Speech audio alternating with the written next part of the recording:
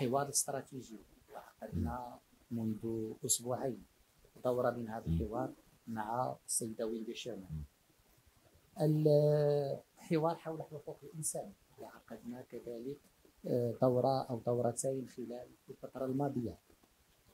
آه، اتفاق التبادل الحر الذي يعد الاتفاق الوحيد للولايات المتحدة مع دولة إفريقية والذي أعطى نتائج إيجابية على مستوى تطوير العلاقات التجارية بين بلدينا ونأمل أن يكون له أيضا دور أهم في مجال دفع الاستثمارات الأمريكية في المغرب في إطار آه، ميثاق الألفية MCC والذي أعطى كذلك كان مساهمة إيجابية للمجهود التنموي في المملكة المغربية وفي إطار كذلك آليات التعاون الأمني والعسكري القوية والمنتجة لمبادرات متعددة بين المغرب والولايات آه، المتحدة.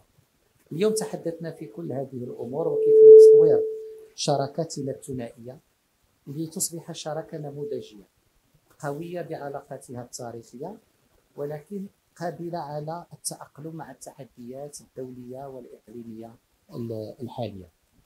تحدثنا حول تحديات إقليمية في الشرق الأوسط و آه، الولايات المتحدة كطرف في الاتفاق الثلاثي الموقع أمام جلالة الملك في آه، دجنبر 2020 والذي عادت من خلاله المملكة المغربية علاقاتها مع إسرائيل. هذا الاتفاق أنتج آه، نتائج إيجابية ويمكن أن يعطي أكثر في إطار آه، مشاريع ملموسة مفيدة لشعوب المنطقة وللشعبين المغربي والإسرائيلي.